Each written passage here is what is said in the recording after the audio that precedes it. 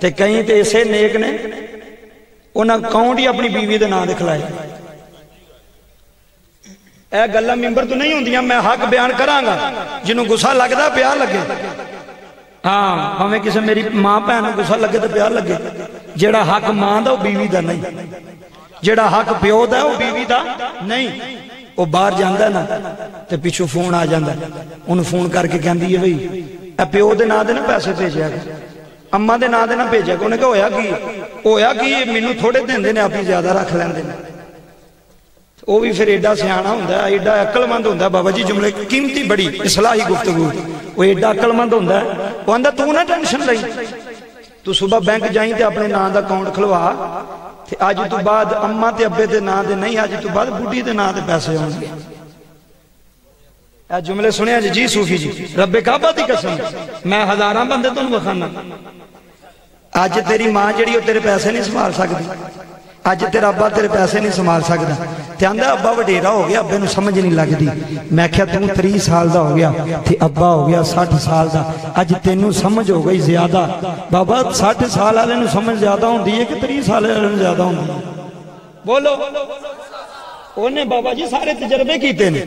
ਕਦੀ ਬੀਵੀ ਦੇ ਨਾਂ ਦਾ ਅਕਾਊਂਟ ਨਾ ਖਲਵਾਇਆ ਜੀ ਜਿੰਨਾ ਤੱਕ ਤੇਰੀ ਮਾਂ ਜ਼ਿੰਦਾ ਹੈ, ਜਿੰਨਾ ਤੱਕ ਤੇਰਾ ਪਿਓ ਜ਼ਿੰਦਾ ਹੈ। ਇਹ ਟੁਰ ਗਏ ਮਰ ਗਏ ਤੇ ਫਿਰ ਜੋ ਮਰਜ਼ੀ ਪਿਆ ਕਰੀ। ਜਿੰਨਾ ਤੱਕ ਜ਼ਿੰਦਾ ਨੇ ਨਾ, ਤੇ ਤੂੰ ਤਨਖਾਹ 20 25000 ਲੈ ਕੇ ਆਉਣਾ ਨਾ। ਤੇ ਇੰਜ ਕਰਕੇ ਨਾ ਹੱਥ, ਤੇ ਆਖਿਆ ਕਰੋ, ਅੱਬੂ ਜੀ, ਅੰਮੀ ਜੀ, ਸਾਰੇ ਚੁੱਕ ਲਓ। ਸਾਰੇ ਚੁੱਕੋ, ਇਹ ਤੁਹਾਡੇ ਨੇ। ਅੱਜ ਮੈਂ ਵਕੀਲ ਬਣਿਆ, ਅੱਜ ਮੈਂ ਜੱਜ ਬਣਿਆ, ਅੱਜ ਅਸਾਂ ਜਨਾਬ ਸੋਹਣੇ ਕੱਪੜੇ ਪਾਏ ਨੇ ਤੇ ਤੁਹਾਡੀ ਮਿਹਨਤ ਲੱਗੀ। ਤੇ ਬਾਬਾ ਰੋਬਿਆਂ ਦਾ ਹਜ਼ੂਰ ਆਪਣੇ ਤੇ ਨਹੀਂ ਲਾਏ। ਇਹਦੀਆਂ ਪੁੱਫੀਆਂ ਨੂੰ ਦਿੰਦਾ ਰਿਹਾ। ਇਹਦੀਆਂ ਭੈਣਾਂ ਹੁੰਦੀਆਂ ਨੇ ਤੇ ਫਿਰ ਭੈਣਾਂ ਨੂੰ ਖਾਲੀ ਤੇ ਨਹੀਂ ਨਾ ਭੇਜੀਦਾ। ਧੀਆਂ ਵੇੜੇ ਆ ਜਾਣ ਨਾ ਬਾਬਾ ਜੀ, ਤੇ ਖਾਲੀ ਨਹੀਂ ਭੇਜੀਦਾ 500 ਰੁਪਏ ਹੀ ਦੇ ਦਿਓ। 500 ਨਹੀਂ ਤੇ 100 ਹੀ ਦੇ ਛੱਡੋ। ਉਹਨਾਂ ਨੂੰ ਕੋਈ ਸੂਟ ਲੈ ਕੇ ਦੇ ਛੱਡੋ, ਕੋਈ ਕੱਪੜੇ ਲੈ ਕੇ ਦੇ ਛੱਡੋ। ਮੇਰੇ ਨਬੀ ਦਾ ਫਰਮਾਨ ਹੈ, ਜਿਸ ਧੀ ਵਿੱਚੋਂ, ਜਿਸ ਘਰ ਵਿੱਚੋਂ ਧੀ ਰਾਜ਼ੀ ਜਾਂਦੀ ਹੈ ਨਾ ਅੱਲਾ ਉਸ ਘਰ ਵਿੱਚ ਰਹਿਮਤ ਦੇ ਦਰਵਾਜ਼ੇ ਖੋਲ ਛੱਡਦਾ ਹੈ। ਜੀ ਬਾਬਾ ਜੀ ਅੱਲਾ ਉਸ ਘਰ ਵਿੱਚ ਰਹਿਮਤ ਦੇ ਦਰਵਾਜ਼ੇ। ਬੋਲੋ ਜੀ, ਪੈਸੇ ਕਿਦੇ ਨੇ ਜੀ? ਬੀਵੀ ਦੇ ਕੇ ਅੱਬੇ ਦੇ?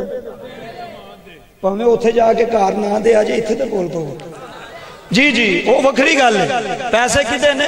ਬਾਪ ਦੇ ਬੀਵੀ ਨੂੰ ਦਿਓ ਖਰਚਾ ਮੈਂ ਇਹ ਨਹੀਂ ਕਹਿੰਦਾ ਨਾ ਦਿਓ। ਲੇਕਿਨ ਬੀਵੀ ਨੂੰ ਬੀਵੀ ਦੀ ਜਗ੍ਹਾ ਤੇ ਰੱਖੋ।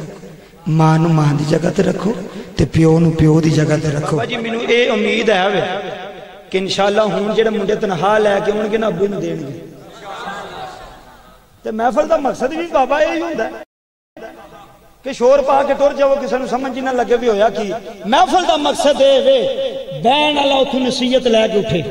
ਬਹਿਣ ਵਾਲਾ ਉਥੋਂ ਇਬਰਤ ਲੈ ਕੇ ਉੱਠੇ। ਵੀ ਮੌਲਵੀ ਜਿਹੜੀ ਗੱਲ ਕਰ ਰਿਹਾ, ਗੱਲ ਤੇ ਸੱਚੀ ਹੈ ਭਾਵੇਂ ਅਸੀਂ ਮੰਨੀਏ ਤੇ ਨਾ ਮੰਨੀਏ।